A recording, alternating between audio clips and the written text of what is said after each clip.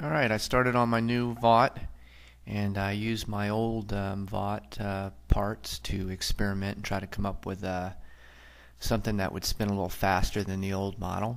So I went with the three wing configuration and uh, this is how I made the blades. The blades are different than my old style. The old styles were flat. These actually have a, uh, a taper to them. I tapered the back about 5 degrees into a point. And then on the front edge what I did was I I trimmed off a 45 on each corner and then rounded it over with a sander. And what that did that gave me a, a rounded front nose and then a, uh, a back that was pointed. I sanded everything very well. Um,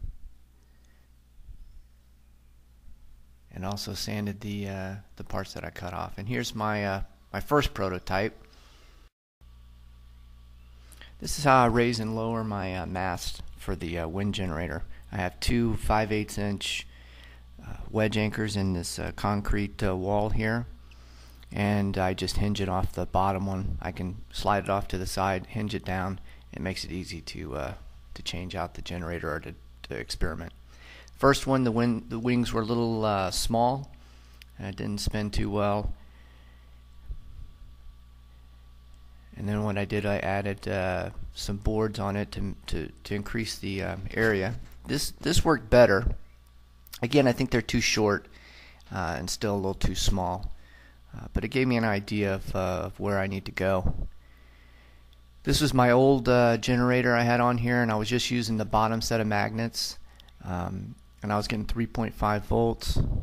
Still it wasn't spinning very fast so that that's the main reason that uh, that I didn't get the volts up. Alright, this is the design I went with. I went with a rim kick three wing design. I uh, laid it out on a piece of uh, half inch plywood and cut it out with my jigsaw. Here it is finished. I sanded it and then the angle I ended up going with was 7 degrees off the center. So each blade is going to be uh, angled out 7 degrees. Alright, here are my three wings. They are 4 feet by 8 inches wide. And these are all my pieces cut out and ready to assemble. I ended up making the uh, hub assembly like an I-beam and I sandwiched the two together. I glued and, uh, and nailed these uh, together to make them strong and, and rigid. Alright, here it is all uh, finished up. I uh, At the ends, I ended up putting in studs, two studs. Uh, this will be to hold the wings. Alright, this is how I set my saw to uh, cut the angles the uh, for the tail of the wings. And I cut on each side to make a V. And that gave me my angle on the back of these uh, wings. And then on the front, what I did was I cut 45 degree angles, just a little bit off of uh, each side, and then used a sander to uh, round over the front to make a nice uh, round nose on these wings.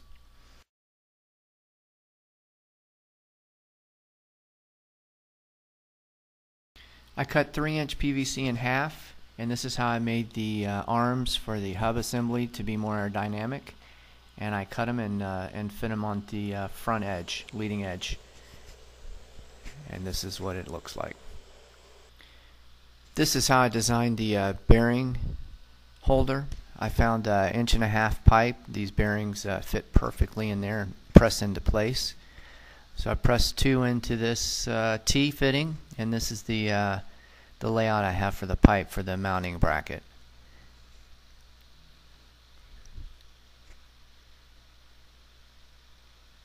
And here it is mounted onto the center uh, hub assembly. And I used uh, lock nuts to keep everything in place. And I got it up on the pole and was testing it out. It did pretty good.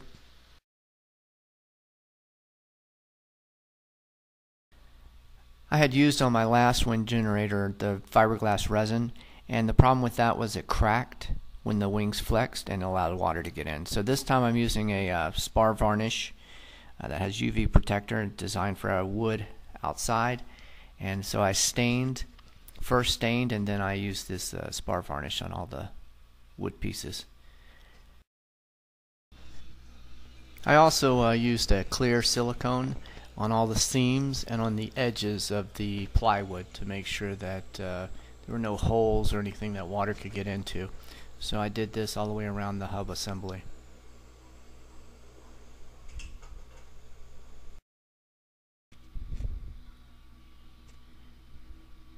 Alright, here's the uh, PVC installed on the leading edge of the hub assemblies to help make it more aerodynamic. And uh, everything's ready for the uh, test fly in here. And this thing really flies. This is uh, it's easily in the same wind conditions double the speed as my uh, of my other one. So uh, my next project is going to be making the generator. I'll have a video up soon.